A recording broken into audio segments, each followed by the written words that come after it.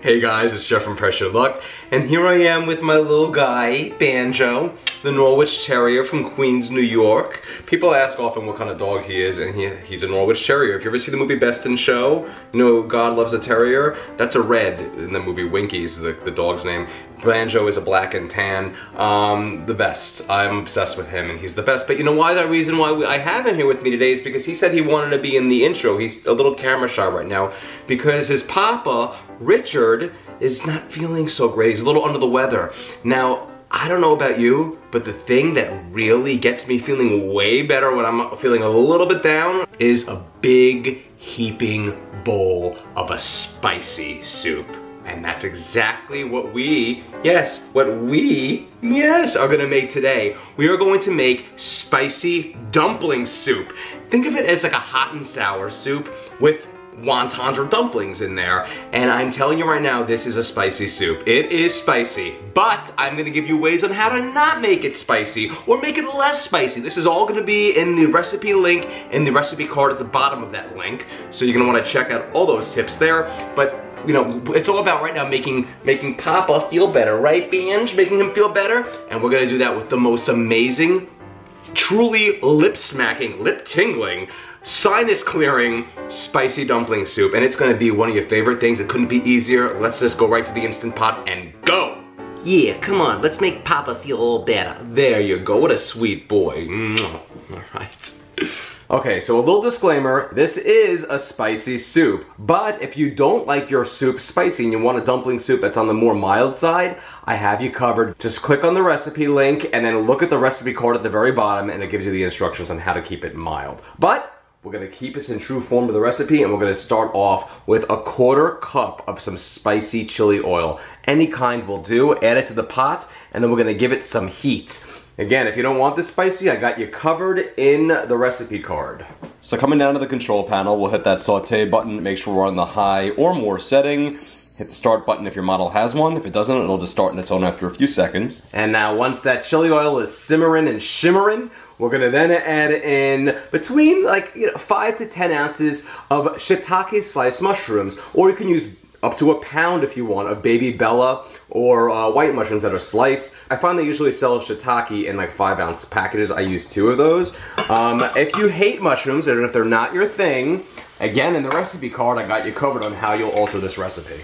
Okay, now we're gonna get in there and we're gonna saute our mushrooms in the chili oil for about three or so minutes.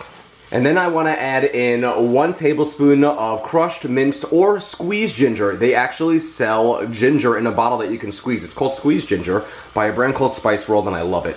Add that to the pot.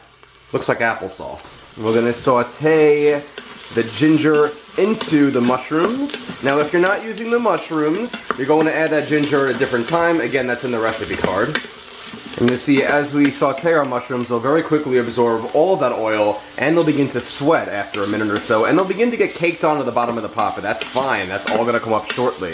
Okay, and after about three minutes, we're looking good. And all that caked on brown bottom from the mushrooms is gonna come up now because we're adding in a quarter of a cup of rice vinegar, and I do suggest using rice vinegar for this. Right, and then we're gonna deglaze the bottom of the pot. You see how easy that's all gonna come up? All of those sticky brown bits from the mushrooms are gonna come right up. It's miraculous, really. Perfect. Now that the bottom is nice and freed and clear, we're going to add to the pot six cups of vegetable broth as well as a quarter of a cup of low sodium soy sauce. I use low sodium for this because honestly I can't taste the difference, especially when it's in the soup. You can also use tamari if you want to keep it gluten-free, and you can use coconut aminos if you want to keep it soy and gluten-free. And I also want to add in one teaspoon of white pepper. I love white pepper and really any Asian inspired dish. It goes an extra long way. But again, if you don't want this on the spicy side, you'll leave that out. All on the recipe card, like I said multiple times already. I'm also going to add in a 16 ounce can of bamboo shoots, or two 8 ounce cans, uh, that I just drained. You don't have to add them in if you don't want them in there, that's fine. And it wouldn't be spicy dumpling soup without some dumplings, or wontons. In fact, they call them wontons and dumplings on here. All right, whatever. Now, I like to use the mini ones for this if possible. You can find these in the frozen section of really any supermarket, especially an Asian market for sure, and Costco even has these. They're frozen right in the bag, and this is a one and a half pound bag. Sometimes you can find a one and a quarter pound bag. Either one is fine. I'm adding them all in there though. And of course you can use any variety, whether it's pork and vegetable, chicken and vegetable, just vegetable, whatever you want to do. Okay, so I've added my all these ingredients and I'm just gonna stir everything around in the pot. Again, these are frozen and they're gonna cook perfectly because that's what it does under pressure. The final touch here before we pressure cook is going to be to add in baby or regular spinach. Eight to 10 ounces is fine. This is actually eight ounces and that'll be enough. I'm just gonna top it off here. It's gonna come right up to the brim. Eight ounces will do the trick. I'm not stirring it, just gonna leave it there. It's just gonna cook down into nothing. Okay, and that's all I had to do before we have to pressure cook. So we're gonna take our lid, we're gonna secure it, make sure that it's in the sealing position. Okay, now we wanna go to the pressure cooking mode. Hit the cancel button and then hit pressure cook or manual, depending on your model. Only want to go for one minute at this, guys, because we have some wontons in there. They're going to be pretty delicate after they get pressure cooked, and they're going to get totally heated up as the pot is boiling and coming to pressure. So one minute, high pressure, that's it. Now I like my spicy dumpling soups a bit on the slightly thicker side so that would achieve that, I'm going to make a cornstarch slurry and what I do is I take equal parts cornstarch and equal parts water, in this case three tablespoons of each, I usually use cold water, and then I have to create a slurry by pouring the water into the cornstarch and then we stir it around so it goes from a thick-like consistency to a nice smooth one. Now the reason why I have to create a slurry is because it tempers the cornstarch. If I were to just dump the cornstarch as it is into like a big pot of hot liquid, it would just clump up like a cellophane ball and it, nobody wants that. We want it to be just like this. And now that we're done pressure cooking, we'll perform a quick release. And our pin just dropped, so we're gonna take the lid off the pot. And then you'll see my spinach will have wilted down and I'm gonna stir my soup up perfect. Look at that, that's exactly why we only wanna go for one minute. We don't want those wontons or dumplings to get overcooked. Lovely. All right, now I wanna give the pot some heat because it's gonna be time to add that cornstarch slurry. So coming down to the control panel, we'll hit that saute button, make sure we're on the high or more setting. Okay, and now that my pot's bubbling, I'm gonna stir in my slurry. Perfect, it's gonna be a nice thick soup, just how I like it. Awesome. Okay, final touches. First I'm gonna kill the heat, and I'm gonna add in two tablespoons of hoisin sauce. Gives it a little bit of a sweetness there. Two tablespoons of sesame oil, a third of a cup of chili garlic oil. This is like the thing you see next to the sriracha, and it has some red chili flakes in it, but you can also just use sriracha. Third of a cup, again, we don't fool around with the soup. Another quarter of a cup of the chili oil. It's gonna give it this lovely color. Again, you can leave out the spice. You don't have to add in either of those two things there. And I'm going to add in a bunch of scallions that I've chopped up, and I've reserved some for topping. But I also like to give the soup some really pretty color with a tablespoon of sesame seeds. I'm using a mix of regular and black. Put that in the pot. Also, I'll probably top off my bowl with some. And now we're gonna stir everything around in the pot. And you are gonna be left with the richest, most outrageous spicy wonton soup. Look at how beautiful. Okay, we're gonna ladle this into bowls and serve it up. And there we have it. A huge heaping delicious bowl of spicy wonton soup. Maybe top it off with additional sesame seeds, some more scallion if you want to go there. Voila. And this soup is here for the taking. All right, let's try this out. Okay, and here's my gigantic bowl of soup. I mean, look at how beautiful this is. Oh, it's rich, it's thick, it's just how I like it. Here we go.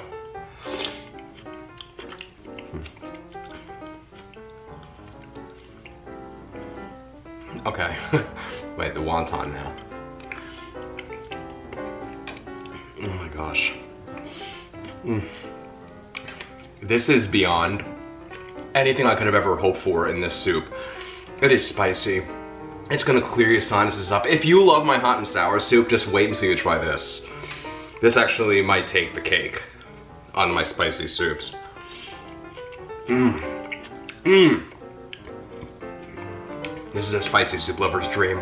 Spicy dumpling slash wonton lover's dream. Now when I say it's spicy, it absolutely has a kick to it. It is definitely going down there, but is it unbearable to eat? No, absolutely not.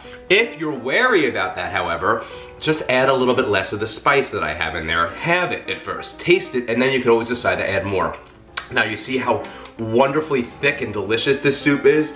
Perfect, I love this consistency, but if you want it a little thinner, just use between two, one to two tablespoons of the cornstarch slurry. That's cornstarch and water equal parts. So one to two tablespoons cornstarch, one to two tablespoons water, mix them together. I'm gonna start sweating when I'm eating this because I'm wearing a sweatshirt. Uh, it's cold out too, and I'm literally heating up just from eating this soup. Mmm. If anyone doesn't feel well, give this to them. Hang on, actually, you know what? Richard's a little under the weather, like I said before, so we're gonna get him down here, and I, I, we'll see how he wants to. Let's check this out. Hey, Richard! So we're gonna see if this does the trick for him. That's a big bowl. It is a big bowl, but it's just it's for the presentation. Here, get in the camera. Oh, I'm not. Even when he's not feeling his best, he looks great, doesn't he? Okay, so tell me what you think of this. Mmm. Oh, wow. It has so much spice.